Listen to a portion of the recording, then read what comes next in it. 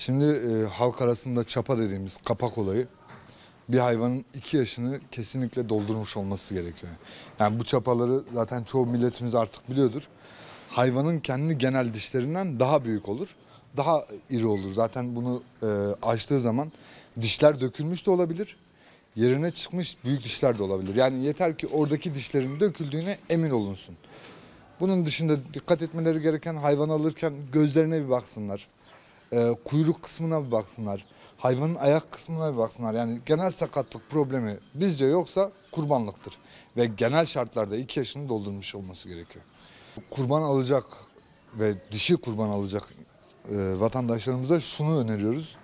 Almadan önce ilçe veterinerliğe yani şimdi diyelim ki Eskişehir Odun Pazarı'na bağlıysa Odun Pazarı ilçe e, Tarım İlçe Müdürlüğü'ne gidip buradan bu hayvanın gebelik vasfının olmayacağına dair yani bu hayvanın doğurganlık özelliğini kaybetmiş olmasına dair bir belge alınması gerekiyor. Eğer ki bu belge alacakları kişide yoksa o düveyden uzak durmalarını biz öneriyoruz. Ki bu mesela kesecekleri ineklere de bağlı. Şimdi inek alınacak. Mesela adamın bütçesi ineğe yetiyordur. İnek alacaklar. İnekler için özellikle yani bu vasfsızlığı kesinlikle bildirecek, e, bildirecek belgeleri almaları gerekiyor. Yoksa onun dışında yine onda da aynı şartlar geçerli. Dişi, gözü, ayağı, kuyruk kısmı bunların tamamının olması gerekiyor. Bizim odun pazarında çok şükür hani böyle bir şey olmuyor. Bunun denetiminde de zaten kurban günü bizim gerek veterinerlerimiz gerek zabıta müdürlerimiz sürekli buraları geziyorlar. Gezdikleri zaman gördükleri herhangi bir hata varsa o kestiren şahısa yani satan şahısa güzel bir e, cezai yaptırım var.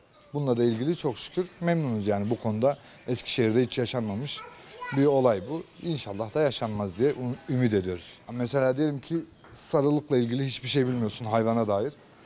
Dişi hayvanda felç bölgesi dediğimiz dişilik bölgesinin olduğu bölgeye bakılıp oradan anlaşılıyor.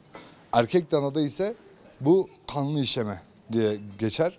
Kanlı işeme görüldüğü zaman bu sarılıktır. Ve bu sarılık çoğu hayvanı zaten yani boş ver kurban olmayı kesilmesi mümkün olmayan bir şeydir. Zaten hayvanı kestiğin zaman et sapsarı bir yağ şeklinde çıkar. Bunu yiyen vatandaşlarımızın da hasta olma riski çok çok fazladır.